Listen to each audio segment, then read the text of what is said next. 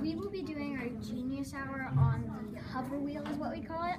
And so, really, the concept of this is two crystals which have diamagnetic properties, which um, will push the magnet away from both of them.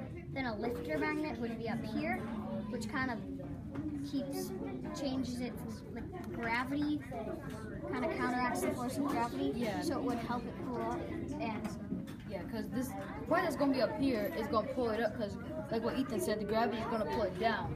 Because the bismuth crystal won't be enough to just hold it in place. Oh, And what's your point? Like, I, what, why are you creating this? because um I Like, what's the problem with normal wheels? so on a normal wheel it would usually the axle either something would happen like you need to re-oil it it gets stuck something gets um, something gets caught in your chain.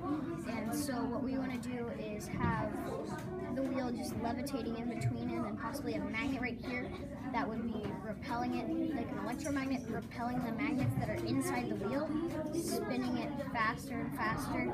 And then one extra electromagnet right here and as soon as you turn that on it would just stop basically, this model right here, like around, around, around where the middle is, is the wheel. So it's like the like Okay. the iron of it is the wheel, and then this would be in the middle to, to stop the friction of the real bike in order to make the real one. Gotcha. So this is just a model of the inside, not the whole thing. You're this is you're going apart at a time. Okay, cool.